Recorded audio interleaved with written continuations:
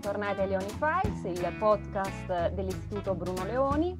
Eh, oggi un podcast straordinario, eccezionale. Con noi c'è il professor Sabino Cassese che naturalmente non ha bisogno di presentazioni e che prima di iniziare la registrazione ci eh, sottolineava che è vero sì che è un podcast, ma è anche un podcast che ha, eh, va, va, online sul canale YouTube, quindi un po' benvenuti al podcast allargato, d'ora in poi, d'ora in poi lo presenteremo così, il nostro Leoni Files. Eh, saluto eh, con, con, gratitudine e mm, cordialità e stima naturalmente il professor Sabino Cassese e benvenuto, benvenuto alle, alle nostre chiacchierate. Eh, professore, mm, inizio, ehm, inizio subito da, dal vivo. Eh, parliamo, eh, parliamo, di pubblica amministrazione, eh, riforma della pubblica amministrazione, semplificazione della pubblica amministrazione, che a me personalmente è una parola che fa venire un po' i brividi e, ne parliamo da tanti anni. Eh, ora ne parliamo in, in, termini stringenti, nel senso che è una di quelle cose che dobbiamo fare eh, per poter spendere i soldi che eh, arriveranno dall'Unione Europea. Eh, però con tutti questi soldi che ci, sono, che ci sono in gioco, io mi chiedo e le chiedo se basta un superuomo come Mario Draghi per fare quello che fino adesso non si è riusciti a fare.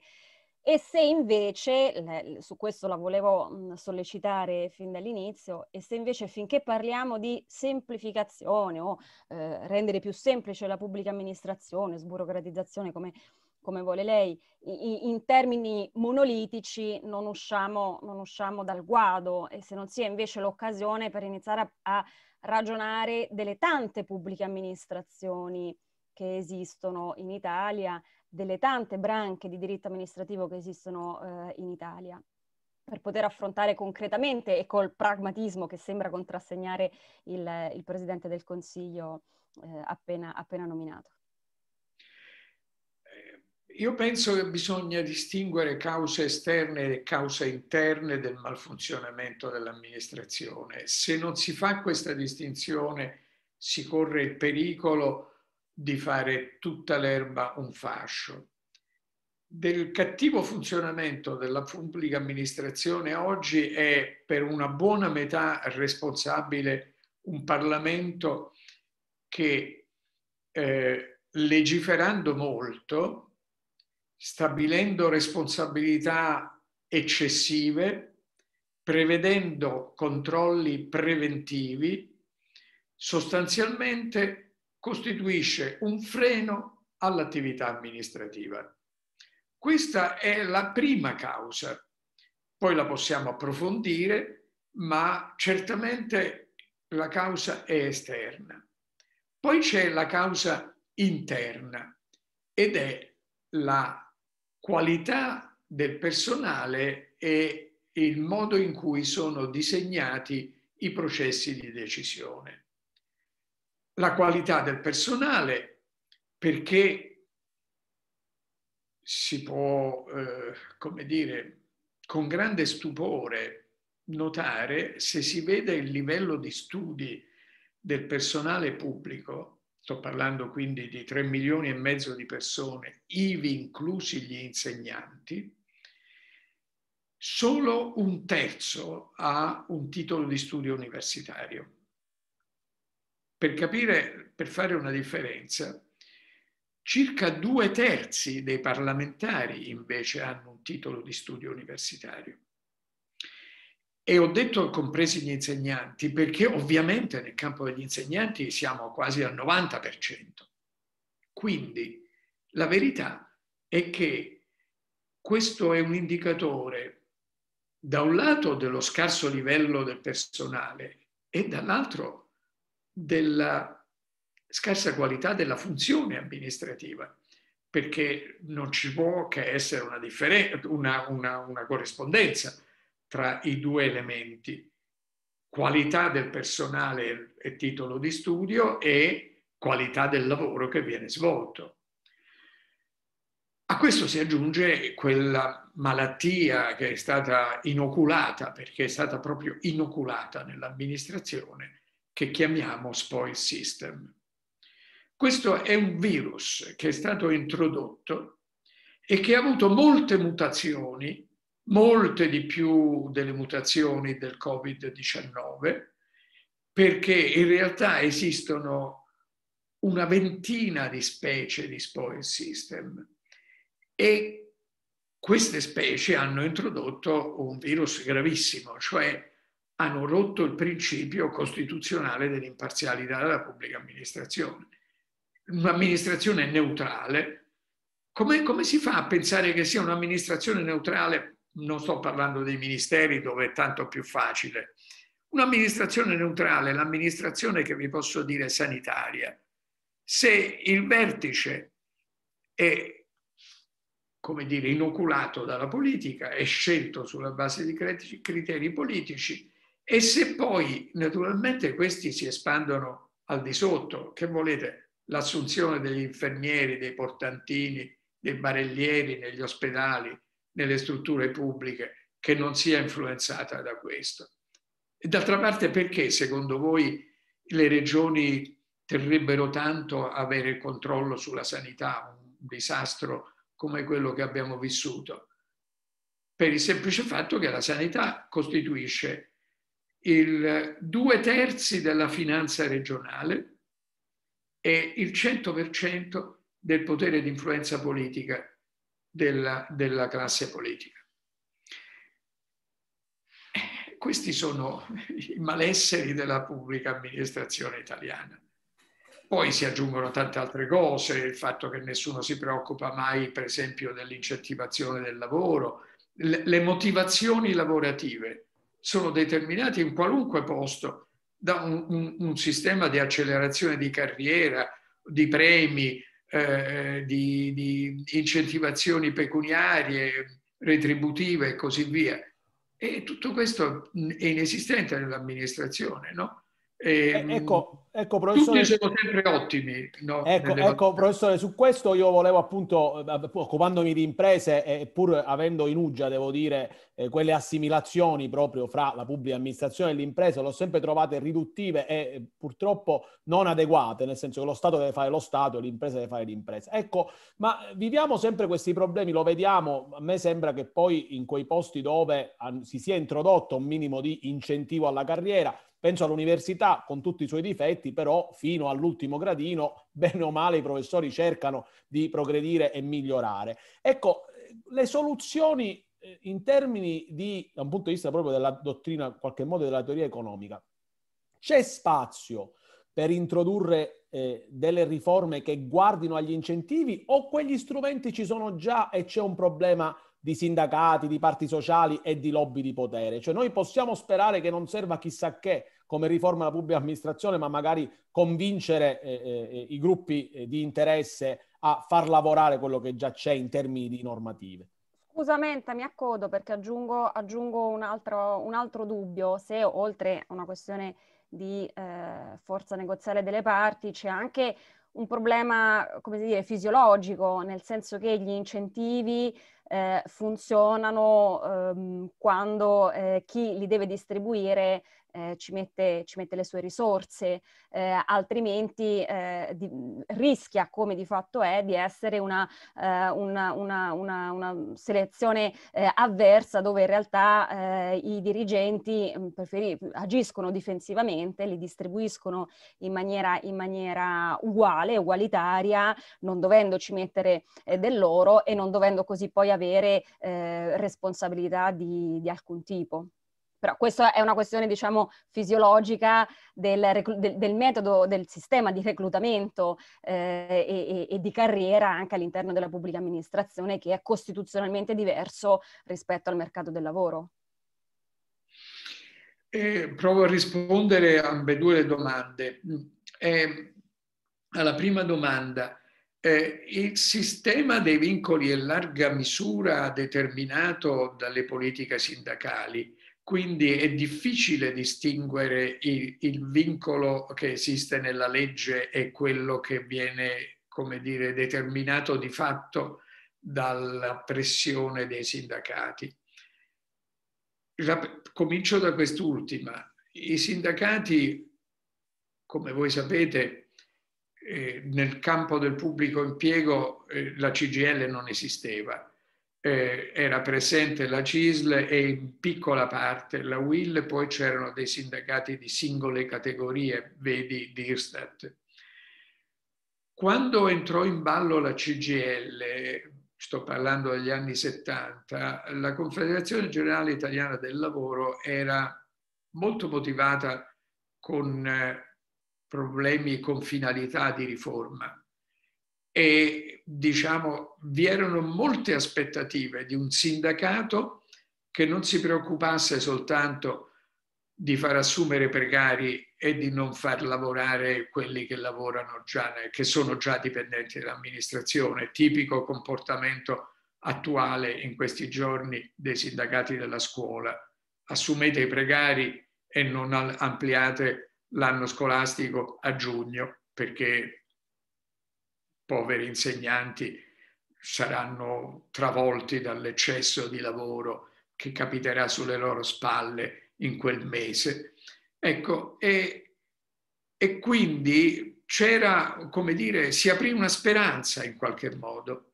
Purtroppo eh, la CGL è, si è rapidamente allineata dopo un decennio alla posizione tradizionale dei sindacati che è diventata semplicemente quella del vogliamo, vogliamo tutto eh, e, e, volendo tutto sono riusciti a ottenere la, la cosiddetta privatizzazione, più correttamente contrattualizzazione del pubblico impiego, contrattualizzazione non ha, che non ha fatto altro che ripetere all'interno dei contratti tutti quanti gli errori e i difetti della legislazione sul pubblico impiego. Quindi noi adesso abbiamo i difetti della legislazione e i difetti del, del contratto o dei contratti del pubblico impiego, sommati l'uno all'altro.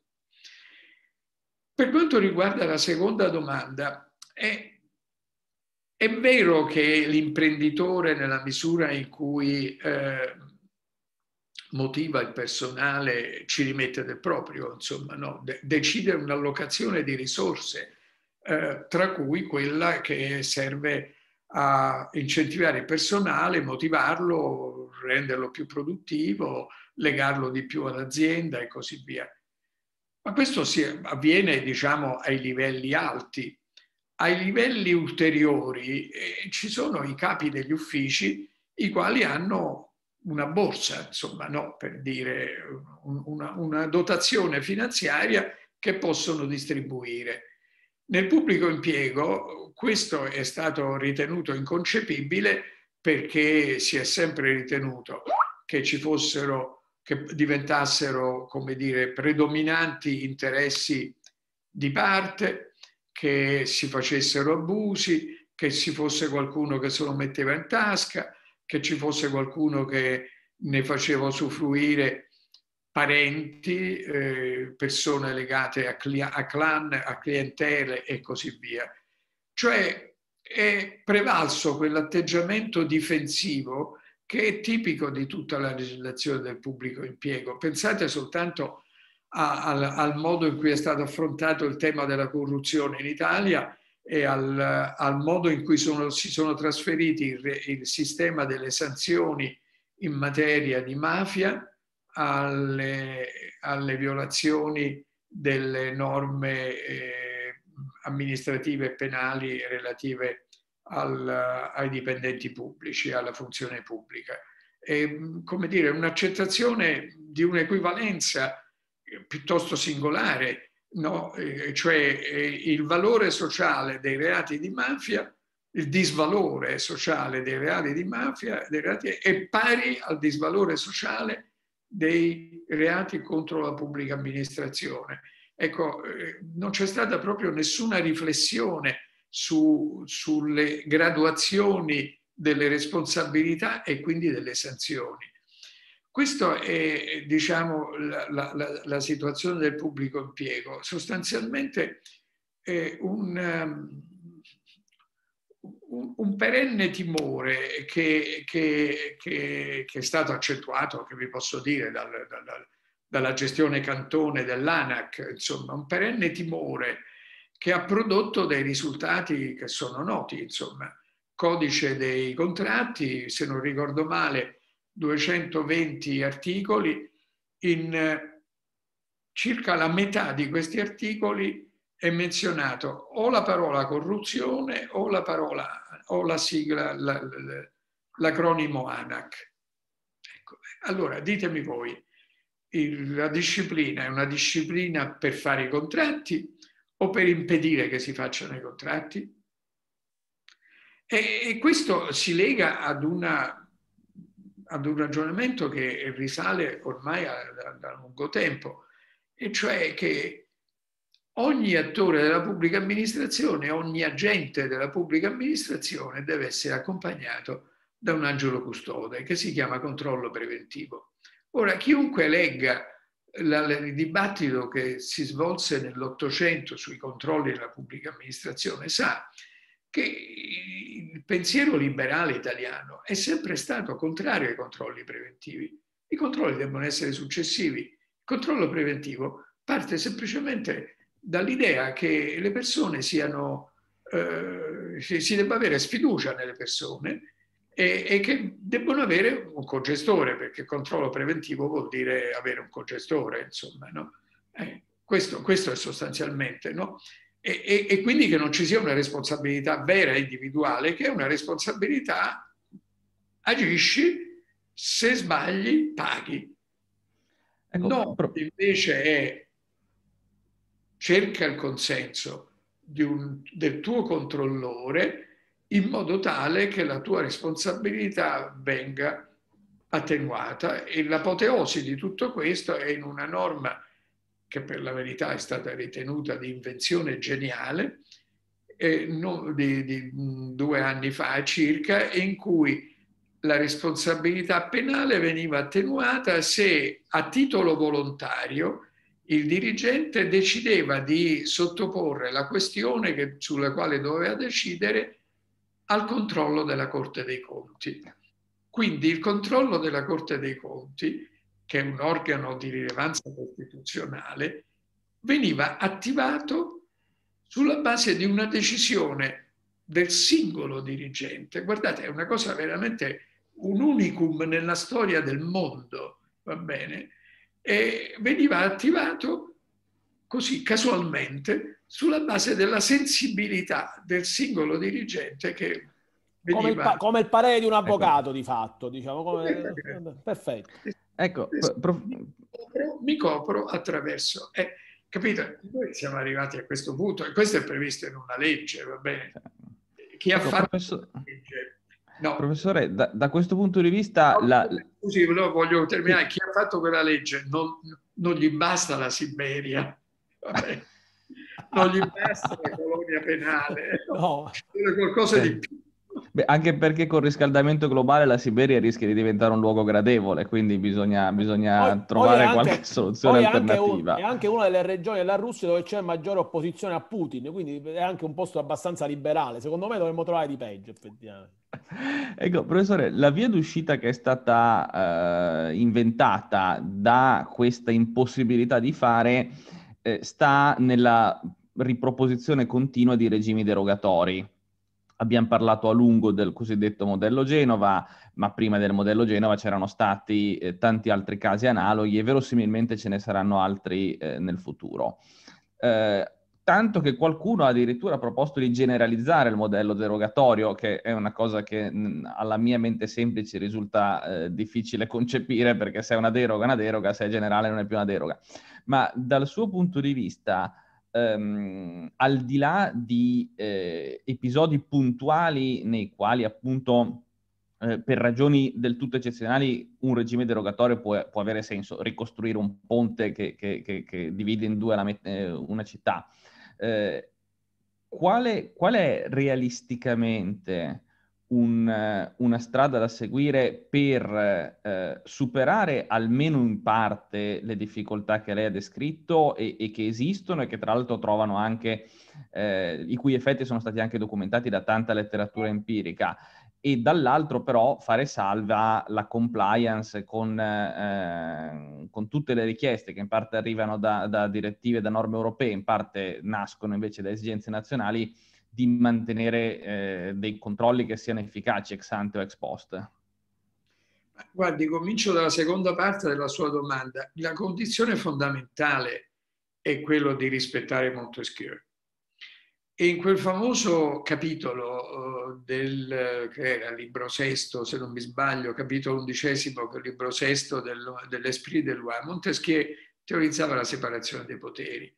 Noi oggi abbiamo un regime in base al quale il legislatore è anche amministratore, perché si spinge talmente avanti, pensate soltanto ai, mil, ai 1500, scusatemi, ai 1500 commi della legge di bilancio di quest'anno, e, e però poi insomma qualunque norma, e aspirando a quello che molti ministri in carica hanno dichiarato essere la loro massima aspirazione, cioè di fare delle leggi autoesecutive, cioè delle leggi che comprendono il loro lato esecutivo amministrativo, spingendosi così avanti di, diventa un legislatore amministratore che assorbe due dei poteri dello Stato e che quindi diventa onnipotente, insomma, no? Cioè non c'è quel,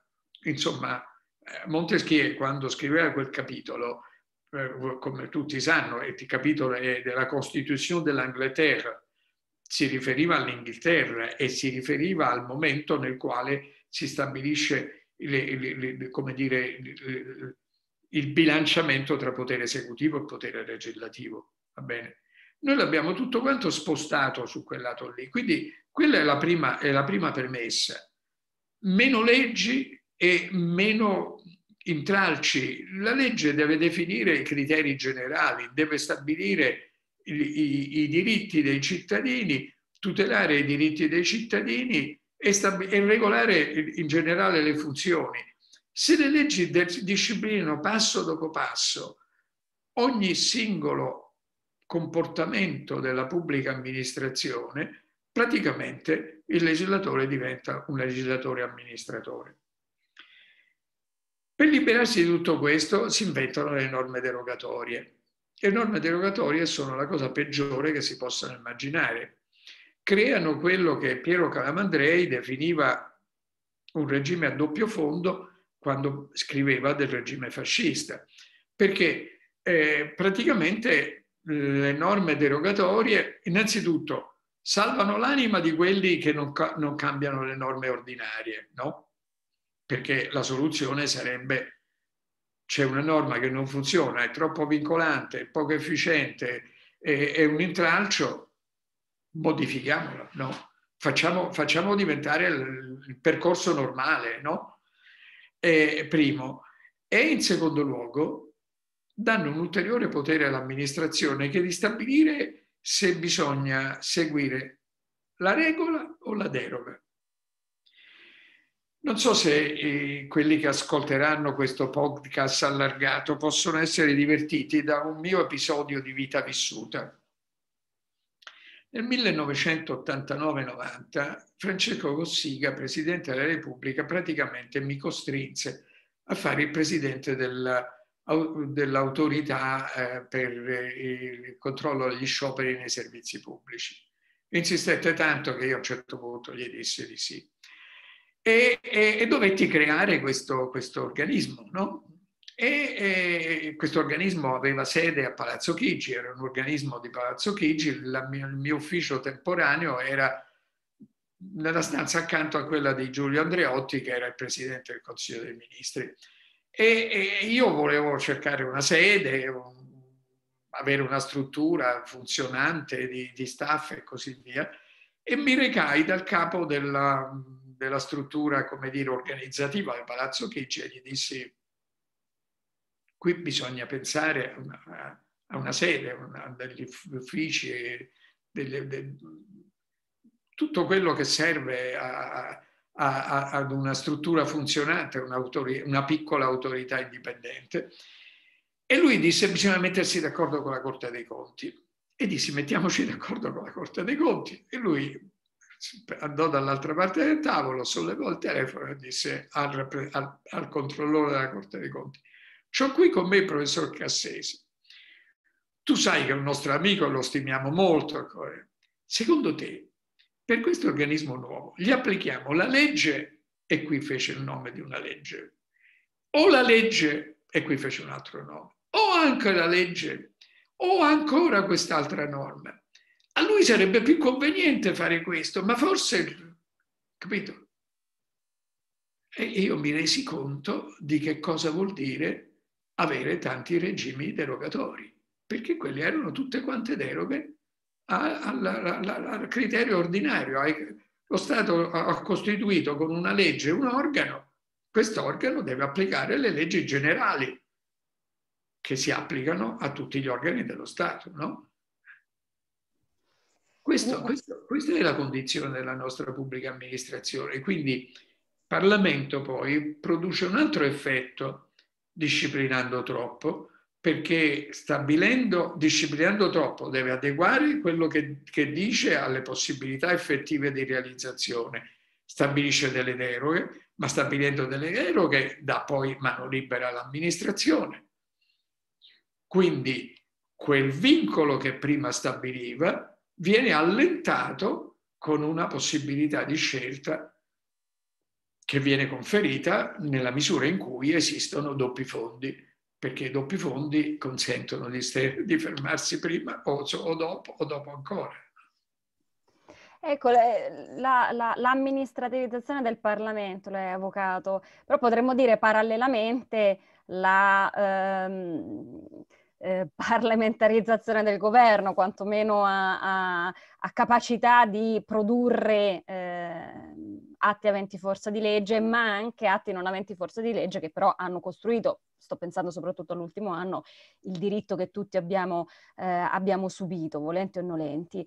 Eh, mh, allora, m- mentre mh, insomma, lei, lei fin dall'inizio di questa nostra chiacchierata ha sottolineato le debolezze del Parlamento, no? anche come, come punto, come prospettiva da cui guardare anche i problemi della pubblica amministrazione. Forse mh, al di là di andare, andare, a vedere le singole eh, disfunzionalità delle singole pubbliche amministrazioni, forse per risolvere questo, questo annoso, storico problema della ipertrofia anche amministrativa, della burocrazia eh, italiana, forse dovremmo smetterla di guardare appunto alla pubblica amministrazione e guardare di più al Parlamento, un po' per quello che dice lei, un po' per quello che ha detto lei fin dall'inizio, ma aggiungo appunto la debolezza del Parlamento di fare il proprio ruolo, di assumere le decisioni politiche tramite legge e, e debolezza che si vede appunto nella supplenza del governo, ma anche, mi permetto di dire, anche a lei che, che, che ha uh, avuto esperienza, è stato giudice eh, in corte, la supplenza, soprattutto in materia di, di diritti civili, eh, la supplenza del, del giudice giudice delle leggi o giudice ordinario che sia. Quindi ecco, forse alla, alla fine di questa, di questa chiacchierata torniamo, torniamo, a casa con, ehm, con eh, eh, il suggerimento di smettere di guardare il braccio esecutivo e iniziare a rivolgerci più verso il braccio legislativo per capire le disfunzionalità del primo. Guardi, in parte è vero. Eh, eh, diciamo, il Parlamento in larga misura è oggi un organo di ratifica. Eh, ci sono delle statistiche molto chiare, l'iniziativa parlamentare è, è ridottissima. Eh, le leggi che vengono approvate sono, se non ricordo male, le statistiche per il 75%, ma credo anche di più, eh, eh proposte fatte dal governo, non dai membri del Parlamento. Eh, questo è il primo aspetto. Il secondo aspetto che ha riguardato l'anno che appena trascorso è costituito dal fatto che a sua volta il governo proponente di quelle leggi è diventato a sua volta un organo di ratifica di decisioni prese dai capi delle delegazioni dei partiti. E queste sono state due, come dire, malformazioni. La prima che deriva da qualche anno, la seconda che si è accentuata nell'ultimo anno. E tutto questo cade sulla testa della pubblica amministrazione, di un'amministrazione che in generale è impreparata. Cerchiamo di vedere sempre dei numeri e dei dati di fatto. Noi abbiamo il Ministero delle Infrastrutture e dei Trasporti e qualunque persona potrebbe pensare che questo Ministero, essendo delle Infrastrutture e dei Trasporti, abbia per due terzi del personale tecnico e per un terzo personale amministrativo. È il contrario. Due terzi sono personale amministrativo, un terzo è personale tecnico. Ditemi voi come si possono fare oggi, non dico i ponti, ma i controlli sui ponti. Capito? E perché questo è il problema. Perché l'amministrazione fa sempre di meno, perché fa di meno? Perché non sa fare, perché non è motivata a fare e perché si dota di organizzazioni periferiche. Io ho scritto di recente un articolo intitolato Lo Stato ad amministrazione disaggregata, come contrapposto allo Stato ad amministrazione compatta, e, e, oggi di fatto se voi andate a vedere qualunque ministero, secondo voi chi, chi la valutazione del, del, livello di istruzione, chi lo fa? Lo fa l'Invalsi. Chi fa la valutazione delle ricerche scientifiche? La fa l'Ambur. Ma che cosa sono l'Invalsi e l'Ambur rispetto al Ministero dell'Istruzione, delle organizzazioni satelliti? Va bene. Quindi l'amministrazione non sa fare, fa fare ad altri, e a furia di far fare non sa più che cosa deve fare. Capito? Per cui noi abbiamo anche delle, dei concorsi per idee progettuali. Che cosa vuol dire? Vuol dire che tu non hai un'idea nella testa e non è che ti rivolgi ai terzi per fare i progetti, ma per avere l'idea del progetto che bisognerebbe fare, capito? Del, che bisognerebbe realizzare. Insomma, e decenni di incuria, disattenzione, aggiramenti, eh, legislazione che sostanzialmente assorbe funzioni amministrative, hanno prodotto questa situazione. E di qui naturalmente poi le lamentele, no? eh, Vincenzo Visco che lamenta che c'è il diritto amministrativo, eh, Romano Prodi, cito due persone di cui ho grandissima stima, ma le cui affermazioni non condivido. Romano Prodi dice che la risoluzione di tutto starebbe nella soppressione dei TAR. Eh, sono affermazioni, come dire, mitologiche.